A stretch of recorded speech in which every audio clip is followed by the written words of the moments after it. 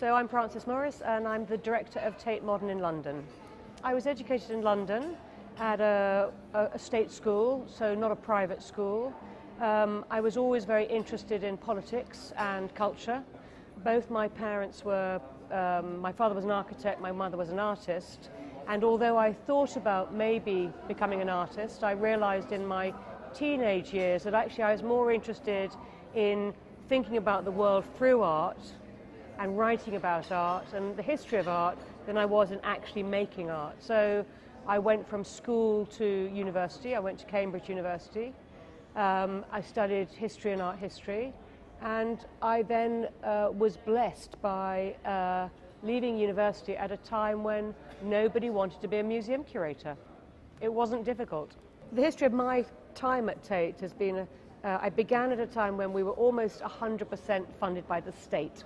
National Museum to a point now where we're about 35% funded by the state. So in that intervening period, we've built this huge ecology of private funding, both kind of corporate funding, major capital donations, but the bread and butter is continuous fundraising with a very big community, mostly of collectors, who support us collecting. So that's been an incredible shift in the ecology of museums over the last 20 years it's, it has possibly created the most problematic and toxic area of conflicts of interest where the public values of the museum come up like that against the individual, personal and you know, corporate interests of, of, of, of, of patrons and um, giving uh, corporate organisations. But that's both a kind of concern, but it's also a very powerful driver of commitment. And it, what we've, I think, done is built a, tried to build and maintain a kind of metaphorical iron wall between the decision making that happens in the museum and the kind of autonomy of the museum and its values and its vision and its mission. And then on the other side, this wonderful, and I mean wonderful, support community of individuals so who support us and get lots of access to us. But what we cannot let happen is we cannot let that private community have access to decision making. And I do think it's possible to be a very a publicly facing, publicly indebted, kind of publicly owned museum and yet have a very significant degree of private funding. That in, it, sustainability lies in that direction. Oh, we think about new models of fundraising. Well, I think um, we never stop thinking about new models of everything. I mean, the, the wonderful thing about the 21st Century Museum is it's, uh, it reinvents itself in a kind of, you know, ongoing way. So we're very responsive. So where we see new opportunities for fundraising, we will follow them. But I think, I think there are areas, and we live in a moment where new museums are evolving daily across the world. New museums in places without histories, without collections, without necessarily deep knowledge. Um, we have knowledge, we have history, we, have, we can partner. And it, what's interesting, if you look at the way we've been delivering programs, projects, even collections over the last decade or so, almost nothing now comes without a sense of partnership. So that how you develop the partnership model with institutions and individuals is something I'm very interested in. A move from the old-fashioned give and take. What, do, what does partnership look like uh, over the longer term? Value is an interesting subject. I think there, um, there's, there's cultural value or artistic value, and then there's financial value. And in the museum context, we're only interested in cultural and artistic value. Um, it is a fact that when we acquire things for the collection, sometimes it will have an impact on the marketplace outside the museum. And then it may be difficult for us to acquire other works. But that is something that's very difficult to control. But once in the museum collection, it's there in perpetuity. We don't ever sell work from the collection. So even if it, if it increases in value, it's immaterial from our point of view. Um, most, almost all the exhibitions that you see at Tate Modern have been originated either by Tate Modern or in collaboration with another organisation. So we will often, often partner with a museum in America or Europe uh, or South America to conceive an exhibition together so that it's very much jointly conceived. So what happens in that instance is that you will see it in, uh, for example, Guggenheim, and it'll have a, ve a very much a, a feel and a kind of complementarity with the space there. When it arrives in London, our curatorial team reshape it for our spaces. So what, what, what that partnership allows us to do is uh, bring expertise together, so you know double the expertise, but also double our financial resources, so we can make much more powerful shows when we do them in, in combination with other organisations. I mean, the big challenge at the moment and looking forward is actually how we partner, as we really do want to do, with organisations in countries which are either in conflict or uncertain times and where lenders are reluctant to lend. You know, we would love to work with the Sursock Museum, for example, in Beirut. And uh, over the next few years, we're really going to be trying to find a way to work with organisations that we haven't worked with before. And we've had fantastic collaborations this year, for example, with MASPI in Sao Paulo with Adriano Pedrosa, which has just been incredibly exciting. So that's a new partnership. So together we, we can be more powerful than, than we can be separately. Most of, most of the exhibitions are part, partnerships. So we share costs, um, we work together on loans, a curator from our organisation works with a curator from their organisation, and of course then the, all the investment in an exhibition can be stretched over six months rather than three months, or a year if you have four partners. So like Soul of a Nation, the show we did last summer, which was huge amount of research, three months in London, but now it's uh, been at Crystal Bridges in America, it'll be in Brooklyn, and then Los Angeles. I don't think we're interested in the colonial model. I mean, we come from a, a, colonial power. Uh, our colonial power was long in the past. I think we're much more interested in, in, in culture, cultural conversations and conversations that take place in different centres across the world. We're really excited about the way Tate can animate a kind of network of organisations rather than being a, a kind of dominating authorial voice. I, deliver, I oversee and manage the decision-making process around all the creative content that takes take, take place at Tate Modern. So from major exhibitions through to live events and collection displays. So that's my, it's incredibly important to me to have an overview of everything that we produce in terms of artistic content. Because I'm very, I believe very strongly that we need to have strong alignment within the creative team. So that what we do with the collection is in dialogue with what we do with exhibitions, and the exhibitions support our live program.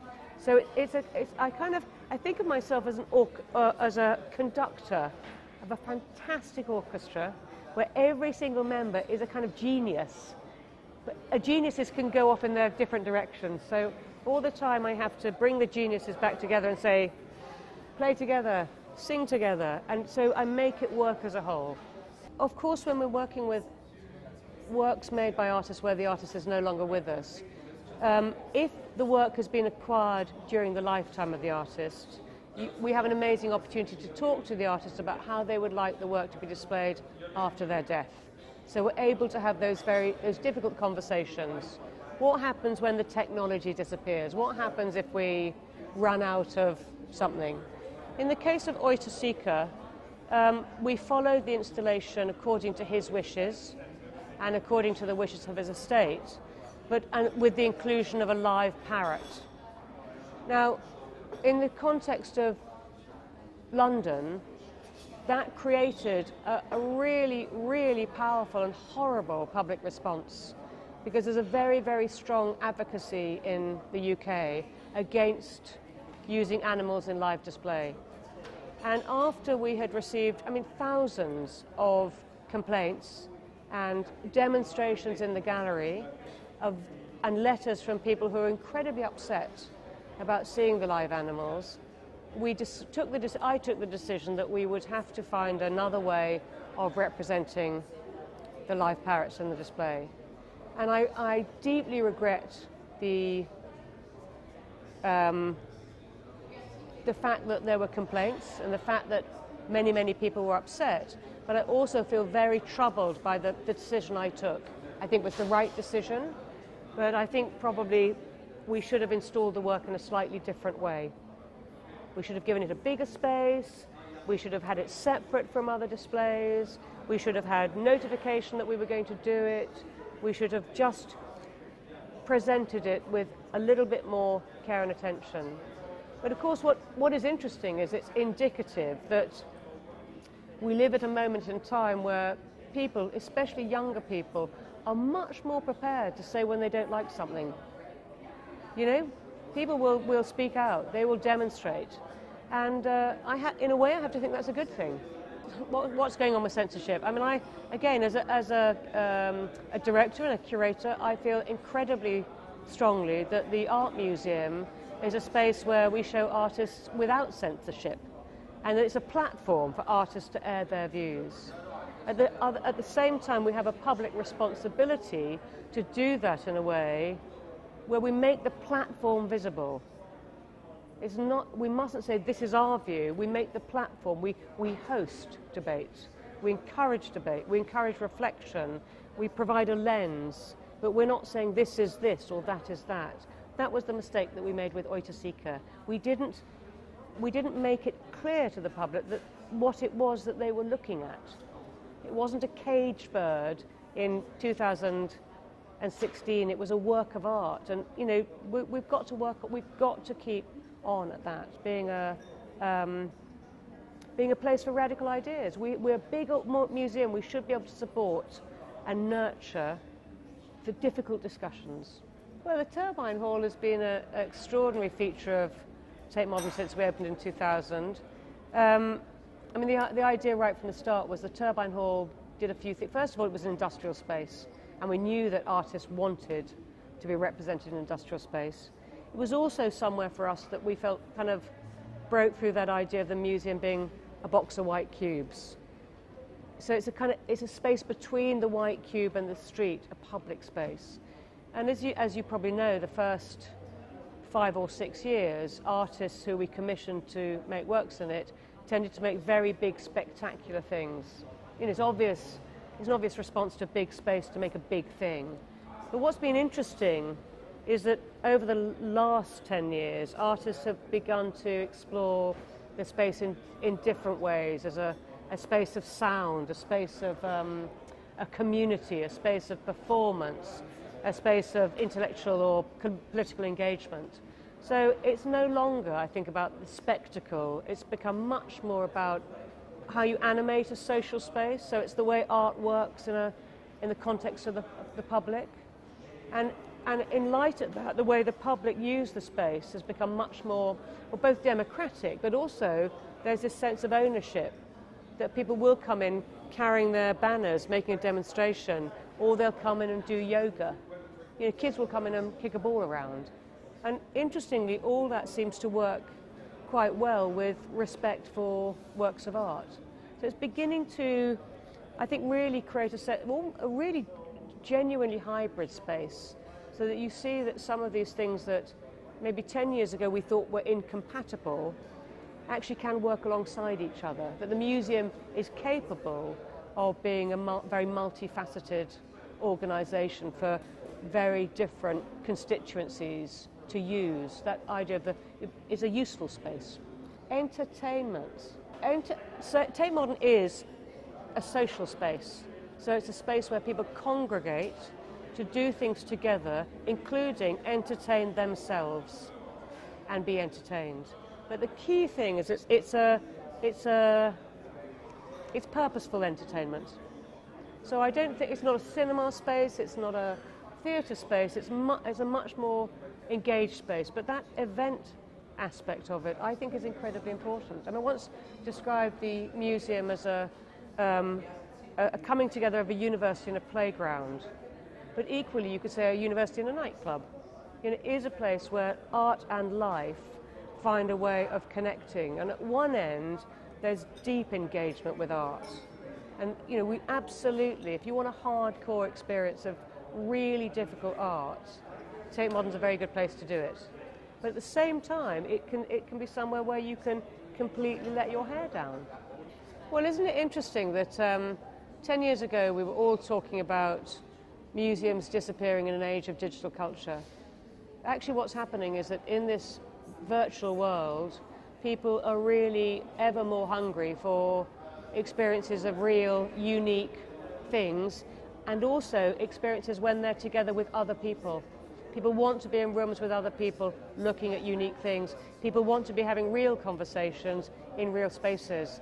And people want to have ways of thinking about the world rather than just reading tweets.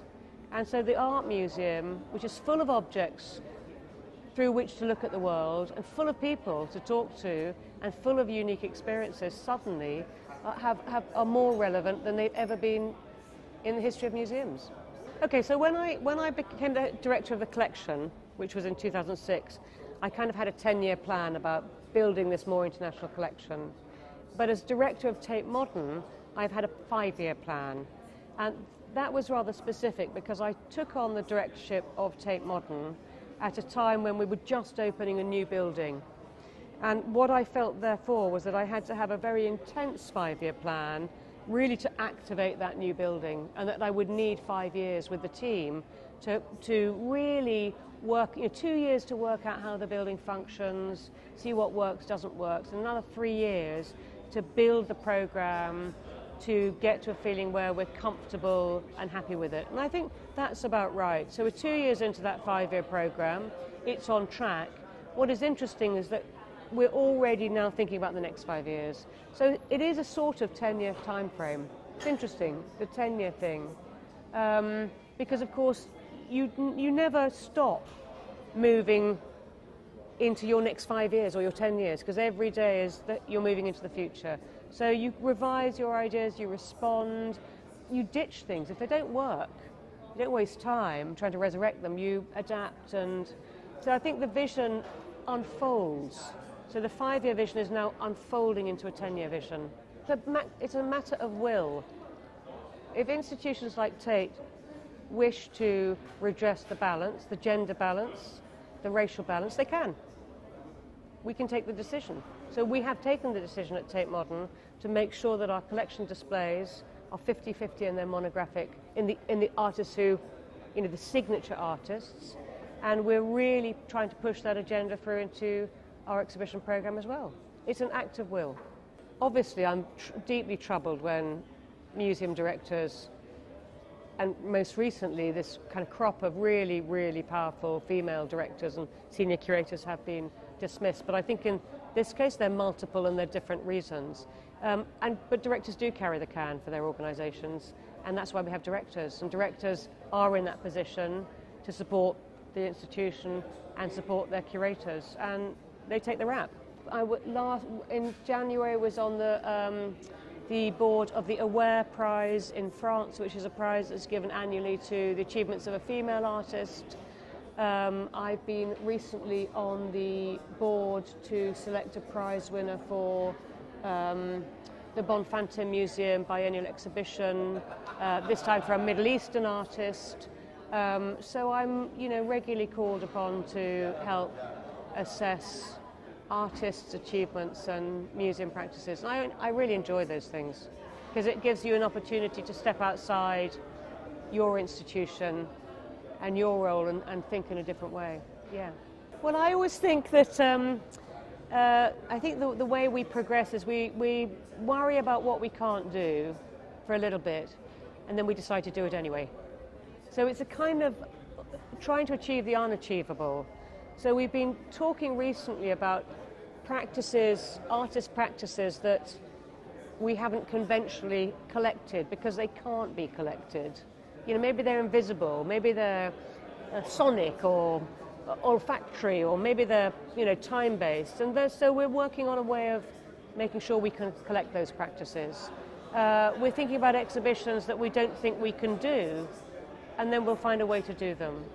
But the particular sort of um, I suppose I, I, think what will drive us more than anything over the next five years is moving from a, a museum with walls, we've spent 20 years building walls, to a museum where the walls don't actually matter any longer. So that's my current thinking. Take the walls away, metaphorically.